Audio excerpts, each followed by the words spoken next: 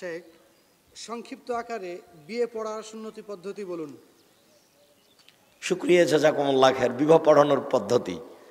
আমাদের দেশে বিবাহ পড়ানোর পদ্ধতি ভুল। দুই তিনটা জরুরি কথা। কাজের খাতায় চারটা সাক্ষী হারাম।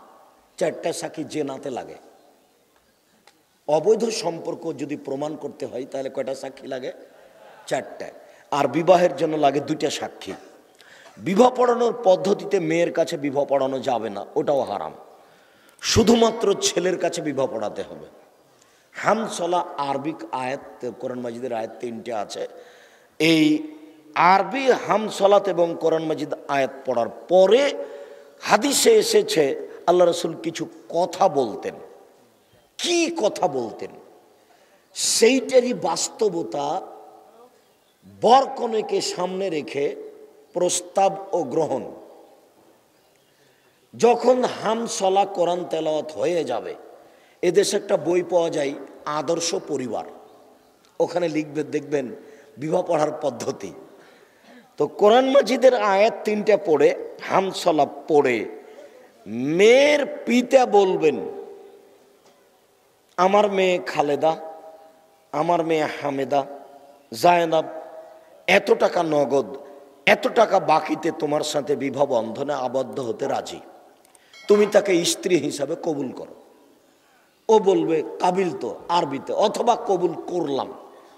বোখারি গ্রন্থের আলোচনায় বোঝা যায় যে বর কাবিল তো বলবে, বাংলা ভাষাতে কবুল করলাম, এটা বললেও চলবে। একবার বললেই যথেষ্ট, কিন্তু আল্লাহর নবী গুরুত্বপূর্ণ কথা তিনবার বলতেন। এটা একটা গুরুত্বপূর্ণ কথা। মর্মে তিনবার বলা যেতে পারে যে, আমার মেয়ে নাফিসা এত টাকা নগদ, এত টাকা বাকিতে তোমার সাথে বিবাহ বন্ধনে আবদ্ধ হতে রাজি। তুমি তাকে কবুল করো। অতক্ষণ বলবে, কবুল কবুল করলাম। বা, কাবিল তো, আমার মেয়ে অমুক এত টাকা নগদ, এত টাকা বাকিতে তোমার সাথে বিবাহ বন্ধনে আবদ্ধ হতে রাজি, এই প্রস্তাবটা তোমার কাছে পেশ করলাম, তখন কবুলটা তার পক্ষ থেকে হবে যে আমি কবুল করলাম। এই হলো বিবাহের পদ্ধতি। এর বিবাহের পদ্ধতি শেষ হলেই দাঁড়িয়ে সালাম দিতে পাবে না, দাঁড়িয়ে অলিমার দাওয়াত দিতে পাবে না।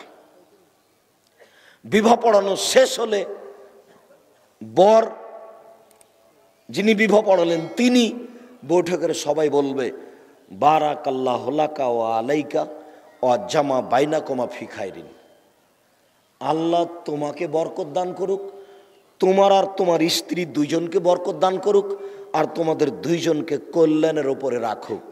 এটাই ছিল বাস্তব বিবাহ পড়ানোর পদ্ধতি, যা উল্টে গেছে। মেয়ের কাছে বিবাহ পড়ানো হারাম। সম্মানিত উপস্থিত, জি, তারপরে বলো। একটি জান্নাত আমার কাম্য। সেই জান্নাত আমার কাম্য।